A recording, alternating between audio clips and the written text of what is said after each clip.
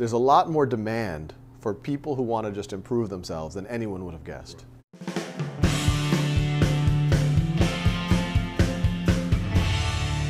Hi, I'm Nick Gillespie with Reason TV, and today we're talking with Salman Khan, the founder of Khan Academy and also the author of the new book, The One World Schoolhouse Education Reimagined. Sal, thanks for joining us. Thanks for having me. In mid 2012, in the book, you mentioned that Khan Academy had about 6 million unique visitors to videos online that were the kind of early genesis of the Khan Academy. Talk a little bit about what the videos are and then what surprised you most about the enormous growth over the past couple of years in, in, in people watching these videos the videos, if when people look at it on you know, khanacademy.org, they will see um, someone writing, just the writing on kind of a digital blackboard I created with screen capture. The biggest thing is when I made these things, I, I kind of assumed, okay, these were my cousins, they, they were pretty motivated students. I kind of make them for, well, what would I have wanted when I was 12 years old or 13 or 18 years old? Uh, I said, well, maybe this will be just for the, the subset of people who are really you know, motivated, whatever that means, and, and they'll actually seek out knowledge on the internet and then they'll find it useful. But it didn't take long to realize that a lot of the feedback we were getting were from people who are not the traditionally motivated, kids who were about to fail classes, kids that were thinking about dropping out, people who were going back to school. And they were saying, no, this, the, the, the, the intuition and the connections and kind of the very uh, conversational nature of these videos make me comfortable with math again. They make me understand the intuition, the big picture, and I'm starting to get excited about math. Right. So, so the big realization is, is the, and I think this is a surprise, frankly, everybody, is there's a lot more demand for people who want to just improve themselves than anyone would have guessed. In the book, you mentioned that New York State spends about $18,000 uh, per student. What's wrong with that? We're spending $18,000 a year for flat results over the past 40 years, basically, from public schools people, millions of people watching your videos. What's wrong with the status quo? The problem is you can never say you're spending too much in education. It's such an important thing. You can never, if, if you can get a dollar of value in education, it's, right. it's worth it. Although that's not what's been happening. That's when you, exactly. I mean, when you look at the inflation adjusted per pupil spending, it's been going up and up, and results exactly. are flat. And if you do yeah. back of, you know, at first when you look at the eighteen thousand dollar number, or in some, you know, even in the the lower the districts that spend less, it might be eight or nine thousand dollars. You multiply that by how many students are in a classroom, someplace between twenty and thirty uh, you get a fairly large number. You get something in between three, four hundred, five hundred thousand dollars, and when you do that very simple back of the envelope calculation, you realize how little of that money is actually touching the student. It, very little of that is going to the teacher. Very little of that is going directly for the facilities. Most of that is going to, for layers of administration. And uh, the two things I point out are one, uh, you, we can actually professionalize uh, treat teachers as the professionals they are, turn it into a career that pays as well as doctors. The money is there. There just has to be major restructuring in, in how you spend that money. The other big thing With is. that, by the way, is there any reason to believe that if we tripled what we pay teachers, we would have teachers that are 300% better? I don't know. I, I, think, I think the, the general sense of any career, any profession, is you know, there's a lot of lip service being given to teachers. Oh, we need to respect you. We, uh, you know, we want, we want the best of the best to, to, be doing this. But un- society is not sending that economic signal. Right. Uh, you know, I, I used to, you know, in engineering, I used to say, how come more people are going into finance than engineering? I was, well, you know, look at the salaries, and you get a very clear picture of why. Now that's actually changing in engineering. Yeah. Engineers can, can do just as well or better than people in, in finance. And I think that has to happen so that, one, we are already getting a lot of great talent in teaching, but we'll get even more people who aspire to do this. And also it'll change the dynamic in the classroom, where the, the, respect level, where the students say, wow, I wish I had a chance of becoming that person who I have the privilege to be with in this room. That completely changes the dynamic in the classroom. So I think that's possible. But I think the other dimension is, it shows that a lot of the excuses, if you will, on, you know, oh, we can't have technology, it's too expensive, th those are round off error compared to the amount of money that's being spent, even on things like textbooks and whatever else. And so, uh, yeah, the back of the envelope is just really give people the big picture. You know, one of the things in the book uh, you, you really emphasize is that, you know, there are multiple ways and multiple sites of education. And I think some of the stuff that I found most interesting is uh, just going back and rehearsing where modern, you know, the modern institution and structures of, uh, you know, K through 12 education come from, the Prussian model, things like that. Talk a bit about where the new sites, uh, like how we have to really start reimagining education, so it's not something that happens eight and a half months a year in a brick building with you know bad air conditions. Yeah, and that's what a lot of people don't realize. I mean, we all grew up in this education system. The education system actually looks fairly similar anywhere you go in the world. And so all of us have just assumed this is what an education is, this is what school is. And, and what I write a lot about in the book is no, this is actually a 200 year old artifact. It comes from the Prussians who don't, they don't exist anymore, but they were kind of the cornerstone of Germany now, is uh, they said we want to have public education, which was a very egalitarian idea, but how do you do that in a scalable way, in a mass way? And they said, well, it's the beginnings of the Industrial Revolution. How do we do anything at scale? And we, we kind of put things on these batches in schools, it's age-based cohorts. We have a bell ringing every shift. You, they go at a set pace every station. You try to apply something to it, and at some point you sift the product. This is the good product. This is the bad product. That's destined for the, you know, the supermarket. That that orange is going to be juiced, right. whatever else. And they did, they, it was the exact same thing with kids. And then when other nations, uh, the U.S. being in the middle 1800s, said, no, we want to do public education too. They said, well, the Prussians have gotten a model, and we're going to do the exact same thing. That's how we're going to scale. And then in 1892, few people realized you had this Prussian model already all over the country, but it wasn't standardized. In, Massachusetts, it would be different than what's happening in Georgia. And so you had this committee of 10, uh, you know, I write a lot about it in the book, that literally sat down, headed by the, uh, the president of Harvard, that decided physics will be your last year of high school's chemistry the year before you're going to do two to three years of foreign language. This is how good geometry and it hasn't changed since 1892 now why, why do you think it is education is one of the last places that this kind of personalization and, and the revolt of the uh, kind of industrial revolution mindset of the idea of standardized parts and processes why, why is it why is it coming so late to education? It seems to be you know that that's been blown apart in so many other parts of our lives yeah, I mean, uh, hopefully the whole sweep of history, it won't seem like it's come so late. Uh, you know, a thousand years from now, like, oh, it just took yeah. five years after, you know, the uh, travel or whatever, air travel.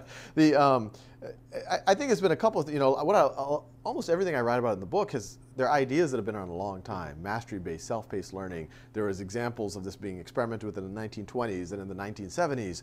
And, and they actually saw really good results. They were studied. And, and what made them very difficult to scale, I think, was two things. Is one, everyone else was indoctrinated in something else and they just assumed that's what education was. And the other thing is to actually, in, in 1920 or in 1970, to do this type of thing where every student is learning at their own pace and mastering concepts, it was a huge effort on the part of the teacher to just coordinate. Just coordinate. Hey, you're doing something different than they're doing. How do I keep track of it? They were, had to run around with worksheets and, and print out things and had to grade 30 times more things that they would have otherwise had to do. And so I think what's happened now is you've had uh, kind of a confluence of you have information technology, which has been around for 20 years, so you could say it's late, but 20 years isn't that long in the whole sweep of history, that can now coordinate information. And then that coupled with the idea that it's the, the barriers to consuming the information has gone to zero, pretty much yeah. zero, and the, the, barriers to producing the information has gone mm. close to zero. Before, if someone like me wanted to go out and make lessons for kids in schools, I would have to go pitch some publishing company, then we'd go through some process, pitch it to some top-down bureaucracy, and eventually maybe it might, and I'd have to argue with people. Right. Are you teaching it the right way? Are you not? Are you doing? And then what, what gets down to students will be this right. weird, watered-down thing. Uh, now you go straight to students, you can go straight to teachers, you can go straight to parents. And I think all of these things have come together uh, to kind of create what's and, happening. You know, some of the ideas that you talk about, like flipping the uh, flipping the school day, kind of. Uh, talk a little bit about that, because these are these are not even things that would require any real change other than a change in attitude. Yeah, and I write a lot about this, and, and we've become somewhat associated with this notion of flipping a classroom. Yeah. And one thing I point out, it's not my idea, it's not right. Khan Academy's idea, and 2007, 2008, teachers started emailing me, say, hey, you, you made some reasonable videos on completing the square or factoring polynomials. Um, I don't think the most valuable use of my time as a teacher, the, the teacher's time, is to give lectures anymore. Right. I can have students do that at their own time and pace. And then in class, we'll make it interactive. We'll do the problem solving. So what used to be homework is now in class what used to be classwork is, is, or lectures are now are now at home, and there's huge benefits. Now yeah, you're not and this it. is the idea that you know the teachers can help kids work through pro problems and, and explain to the whole class, and then at, later in the day when they're at home or whatever, then they can uh, soak in the lectures at their own pace. That's that's it, right. And, and and we're not, you know, what I advocate is that's one model which gets closer to the right idea. But then you can keep running with that. You know, you don't have to say it has to happen at home or it has to happen in school. You can do problem solving wherever, but you should have some point in the day when humans do get together where they can help each other. And it gives the teacher real-time information on how are the kids doing. Mm-hmm. And, it, and then it allows you to go to the next level. Anytime you're lecturing, it has to be one pace fits all. Right. Now, if it's not lecturing, it's all the student. Now you can everyone learn at their own pace, learn at the stuff that matters, and you can start leveraging peer-to-peer. College and credentials. I mean, a lot of education, even at the K through 12 level, is kind of signaling to the next level of education that you've made the cut or you're the type of person who's going to go this far. College, even more so. What's the function of college and what happens to credentials down the line when we get into a more robust and uh, kind of uh, individualized, personalized educational experience? Yeah, I write le- at length about it in the book, but it's a, you know, college is kind of a confusing, muddled concept, or even education is, where there's a learning part, there's a socialization part, and there's a credentialing part. And, you know, what I, I write a lot about is, you know, the students and parents, yeah, they, they appreciate the experiential, the socialization parts of college, but they are paying that significant amount, if you really ask them, for the credential. You know, I joke, if you went to students graduating at Harvard, look, I'll refund all your tuition, you get all the experiences, you get all the friendships, you get all the learning, but you can never tell anyone that you went to Harvard University.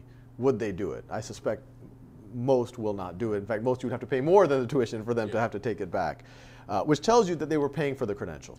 Uh, the, and, and the experience was kind of gravy on top of that. And the universities think that they're fundamentally not, you know, the credential's nice, but the main thing they're giving is this experience. So that's a huge transaction, a huge part of someone's total lifetime income, where the person buying is buying something different than the person selling. And, and, and what I believe should happen and what I believe is happening is you're going to have a decoupling of the learning experience from the credential. So regardless of whether you went to Harvard or you went to the local community college, if you feel like you know something, you could go to a third party, well established, rigorous assessment, better than what happens at any school, and prove that you know that thing. And you might have learned it on the job, at a community college, on Khan Academy, on edX, who knows what it might be.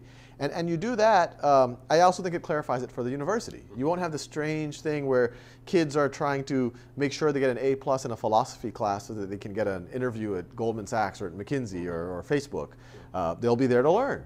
And if they really care about the job, there, there's, there's another route that's somewhat orthogonal to the, to the first one. Change is coming to the educational establishment. I mean, the, the public school monopoly, the conventional public school monopoly is clearly breaking down.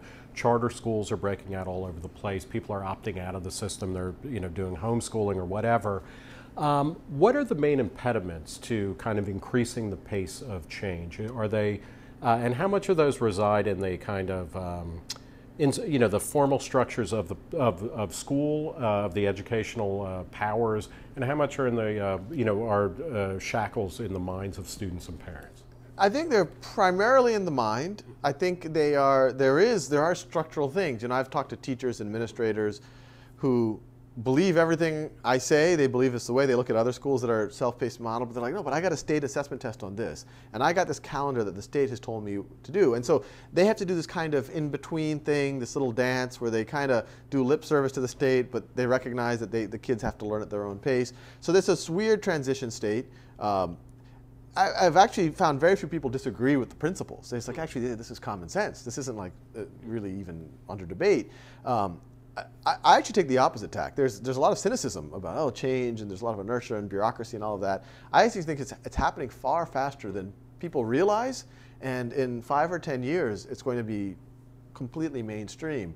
And for something as systemically as important as education, um, I think that's shockingly fast. The book is uh, The One World Schoolhouse Education Reimagined. The author is Salman Khan, the founder of Khan Academy. Thanks for talking to us. Thanks for having me. For Reason TV, I'm Nick Gillespie.